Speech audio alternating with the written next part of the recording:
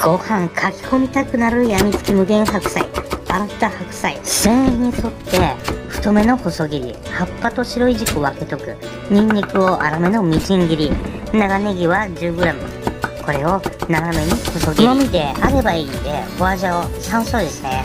45粒入れます。水溶き片栗粉を用意しとく。フライパン温めて油を少々。白菜の白いとこから炒めていきます。これ焼くとね甘みが出るんですね白菜が。さっ。と取り出すで豚こま切れこれ今回油多いんで油は引きません長ネギとニンニクも入れますで酒ちょっと入れて炒めるとね肉の臭みが消えるわよで豆板醤醤油入れてしっかり炒めて香りを出すわよ白菜入れてえー、鶏ガラ、オイスターソースを入れて炒める。最後に、水溶き片栗粉でとろみ。最後に、ごま油を少々香り付け。はい、完成。これ、最後にね、好みでお酢とか麹やると、油っぽさが消えて最高にうまい。炊きたてのご飯に乗っけて食べるともう止まらないわよ。めちゃんこのプラスーパー美味しい。やってみるなおよ。